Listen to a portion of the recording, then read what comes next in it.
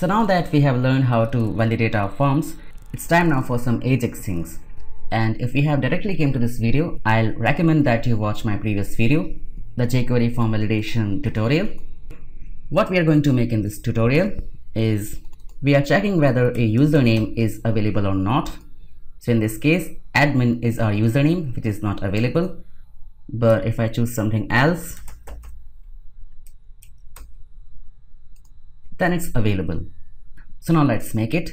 First of all, we need to build a mechanism in PHP so that we can get to know whether a username is available or not. So create a new file and save it as is username available.php. Save that and I'm pasting few lines of code. So this page is getting some value by get request and we are saving that value in this username variable and here we have a function get availability and this is an array which contains two values admin and site admin I'm making this variable hard-codedly, but you can customize this array by your database related query or the method. So we are assuming that these are the usernames saved in our database and we are checking whether the username coming from our get request is inside this array or not. If it is in there, then this returns unavailable and if it is not, then it returns available. Finally, we are echoing it using this function and we are passing the username variable. So now let's test it.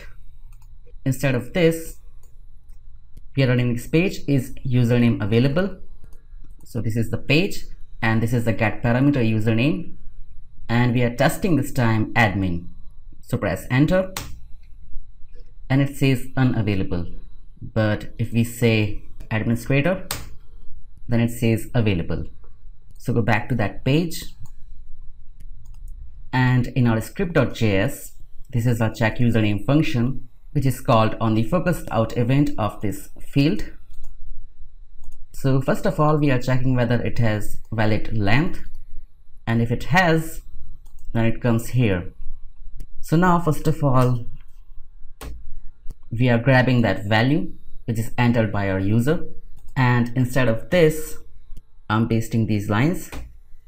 So this is the get method of jQuery. And this is making a request on this page is username available which we have here.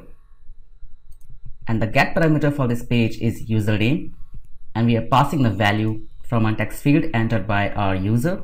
So jQuery makes a request and comes with the data. And if that data is available which is echoed by here then we don't want to show any error message but if data happens to be unavailable, then we set our message username not available and then we show it. So now let's test, refresh.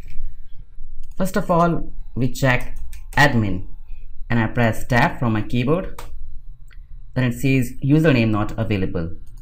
And if I say administrator or something else, so there is no error now.